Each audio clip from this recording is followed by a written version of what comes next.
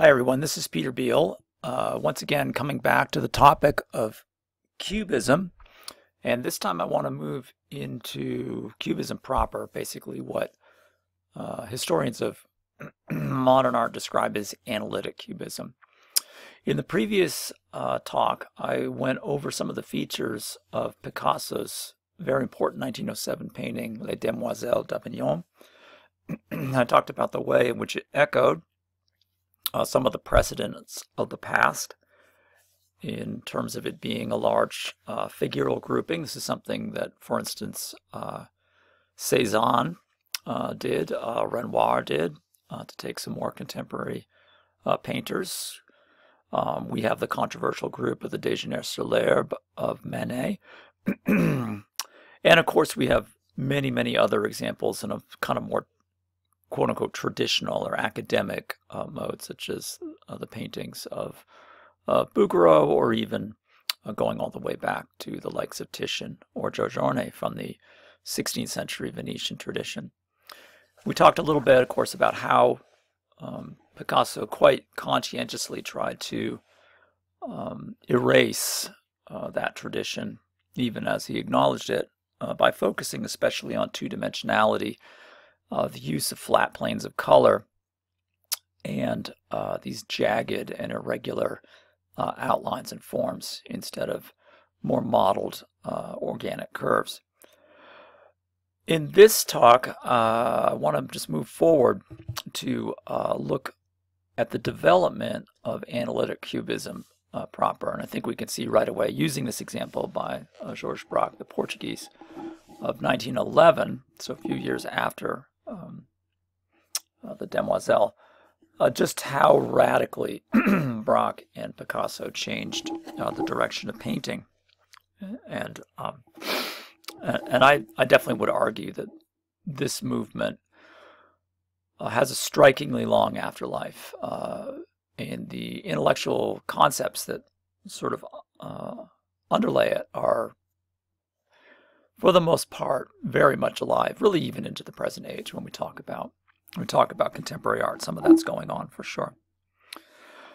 Um, Picasso, and probably I think uh, understandably uh, so, did not uh, share the Demoiselle uh, as a painting extensively with other people. It's not exhibited, for instance, until quite a bit after it's painted.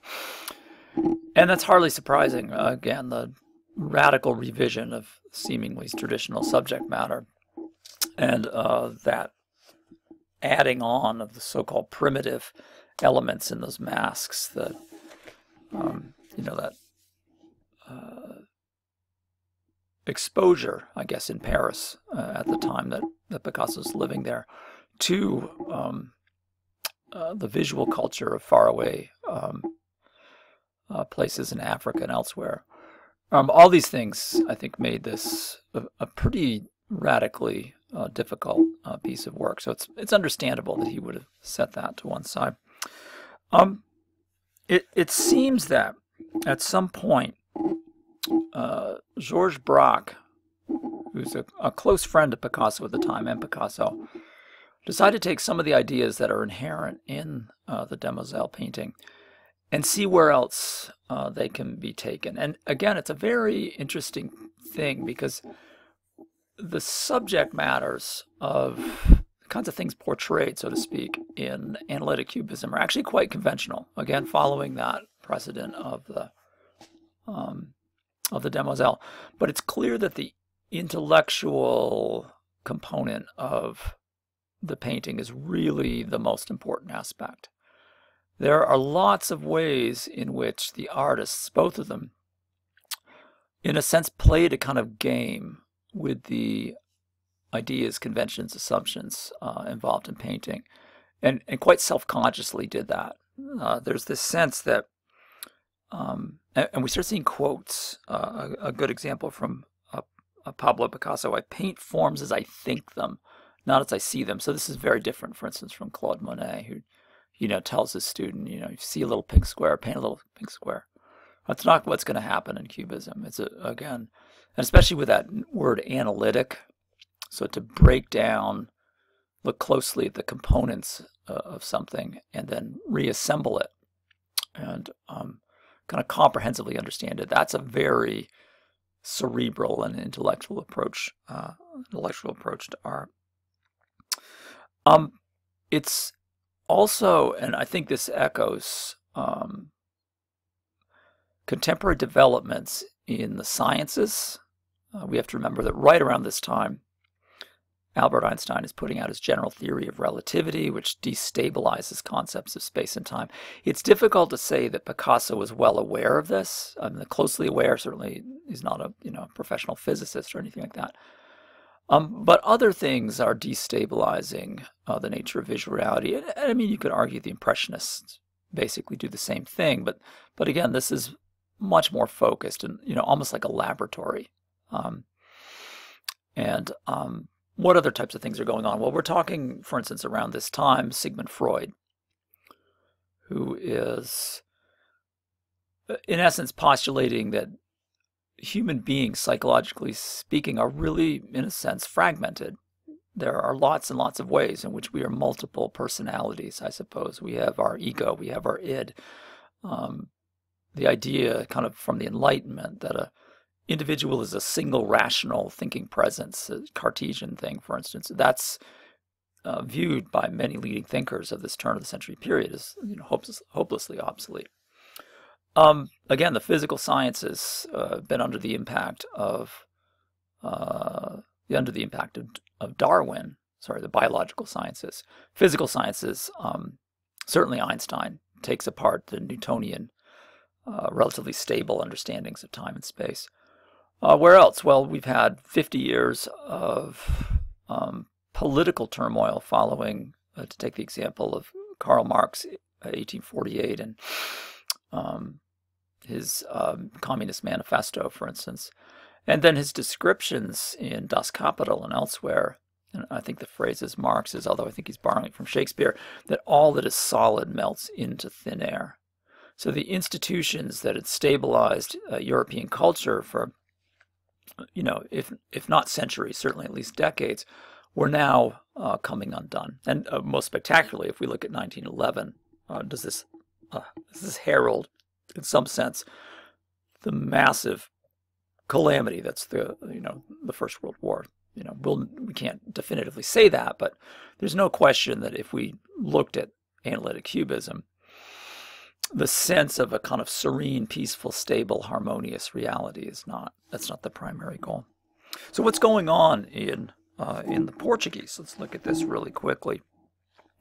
So the subject again is very traditional. It's a musician uh, playing on, and you can sort of get some sense of this playing on a guitar. You can get the sound hole and the perhaps the strings coming across, and you know, maybe a kind of headstock thing. So there's kind of this motif of a guitar, and then if you follow that logic, then there's kind of a torso here, and then a head, right? So it's a, it's a very traditional uh, subject. Going back again to the time of the Venetians, uh, we see images of people playing uh, uh musical instruments, and it's a you know a staple of a kind of genre art ever since.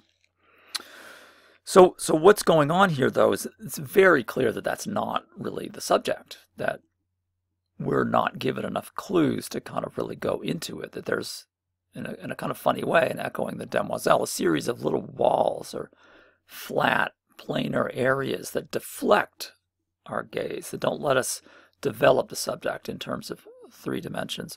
That the artist has taken viewing and offered us these multiple and multiple, multiple vantage points um, and fragments or f- fractions of those multiple uh, viewpoints, and then kind of patch them back together the way you could argue the act of seeing uh, does, patches them back together to create a constantly deferred uh, visual reality. You never complete the act of seeing with a cubist painting. There's always something. And indeed, the application of paint, you can see this very clearly with lots and lots of thick, individually distinct, kind of staccato brush strokes, each making kind of like a mosaic, its own little painting.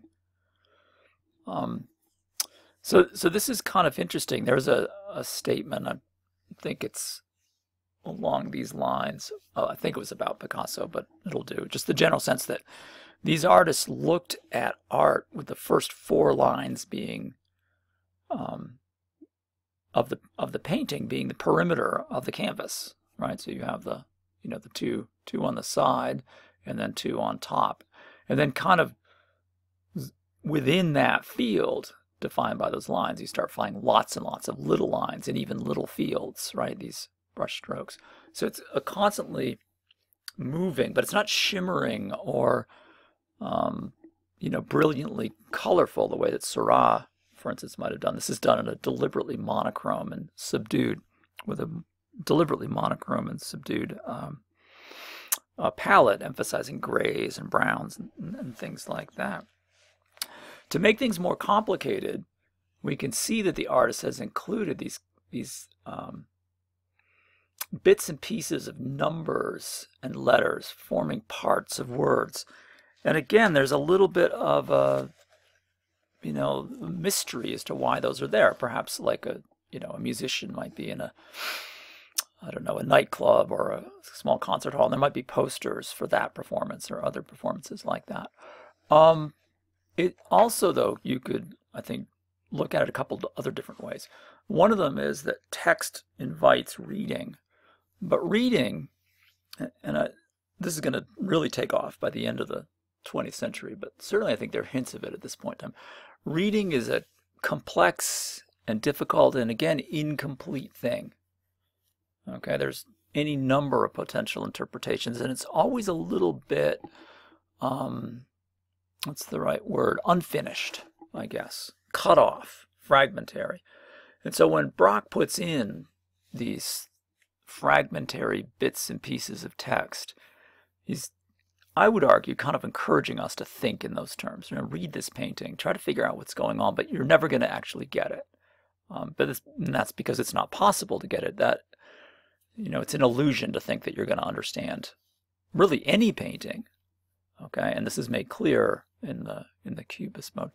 The other thing that goes on with these um, these bits and pieces of text and number and what numbers and what have you is that they emphasize that two-dimensional quality, right? So so printing on a flat, say, piece of paper, um, certainly works 100% against any notion of a, of a complete or coherent uh, pictorial space, the kind that, you know, for instance, Italian Renaissance artists were dedicating themselves to creating. So the insertion of text so prominently, but in such a fragmentary and ambiguous uh, fashion, really helps underscore these aspects of Cubist uh, art. And what are these aspects? Well, again, let's summarize really quickly. Typically, Cubist art is of an ordinary subject, sometimes landscape, but oftentimes still life or portraiture relatively still. Motion and cubism don't work too well together. The motion is really in the painting.